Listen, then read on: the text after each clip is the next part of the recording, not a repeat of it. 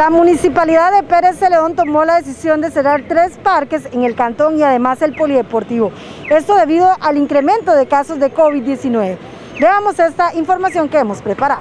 Los parques de San Isidro del General, Palmares de Daniel Flores y el Carmen de Cajón, además del polideportivo, fueron los cuatro espacios que cerró la municipalidad de Pérez Celedón como medida preventiva este viernes 30 de abril debido al incremento de casos de COVID-19. La medida se tomó por segunda vez. El primer cierre fue el 19 de abril de 2020 y estuvieron cerrados hasta el 18 de noviembre que se dio apertura. Sin embargo, debido a la situación que se vive, cinco meses después se tomó la decisión de volver a cerrarlos. Bueno, eh, la administración municipal, el señor alcalde, don Jeffrey Montoya, pues eh, ahí analizando el tema y creemos que son medidas eh, importantes y efectivas efectivamente pues no, no tenemos una fecha establecida para la apertura. Eh, la fecha posiblemente la indicará el comportamiento de los casos que nosotros tengamos acá en Pérez Celedón y que va a depender precisamente de la responsabilidad que nosotros como ciudadanos tomemos, porque las autoridades han tomado las decisiones, consideramos oportunas en su momento, sin embargo pues ya depende de cada uno de nosotros. Y es que a pesar de los esfuerzos del municipio colocando rotulación y exigir el uso de la mascarilla, evitar las aglomeraciones y demás, muchas personas no hicieron caso.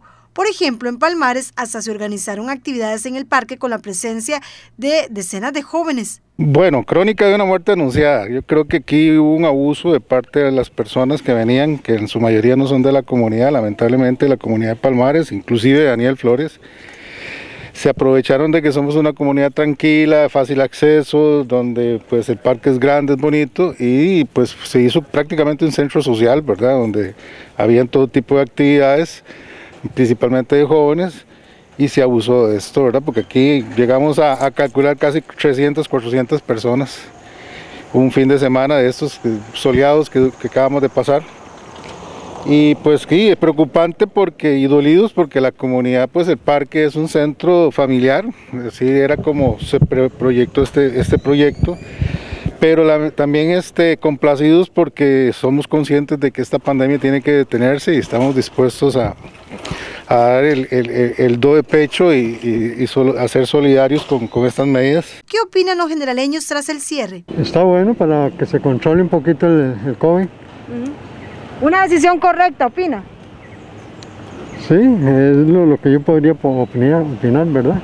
Ya, yo siento que está bien porque no se han estado cuidando o prácticamente no las estamos cuidando. Mm, es una llamada de alerta, ¿verdad? Una llamada de atención y alerta, sí.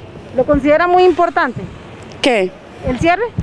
Y para que volvamos a tener cuidado. Esos espacios estarán cerrados por tiempo indefinido. Nosotros siempre seguimos haciendo el llamado a la población este, al comercio a seguir eh, implementando, reforzando las medidas para prevenir el contagio, el lavado de manos, el uso del alcohol como desinfectante, también pues mantener el distanciamiento social, no asistir a eventos donde exista aglomeración de personas que creemos que es lo que influye más en este momento en el incremento de casos eh, y también no está de más decir la preocupación eh, por la saturación de los sistemas hospitalarios de la región que en este momento pues es, es bastante importante. En el Comité Municipal de Emergencias esperan que la población siga las recomendaciones. Así como lo veíamos en la noticia anterior, serán cierres indefinidos hasta tanto se pueda controlar. Esas son parte de las decisiones que se están tomando. Recordemos que también semanas atrás se tomó la decisión de eh, hacer algunos cierres en las bancas del mercado municipal y terminal de autobuses y también realizar una multa a aquellos inquilinos que no estén cumpliendo con las disposiciones pertinentes.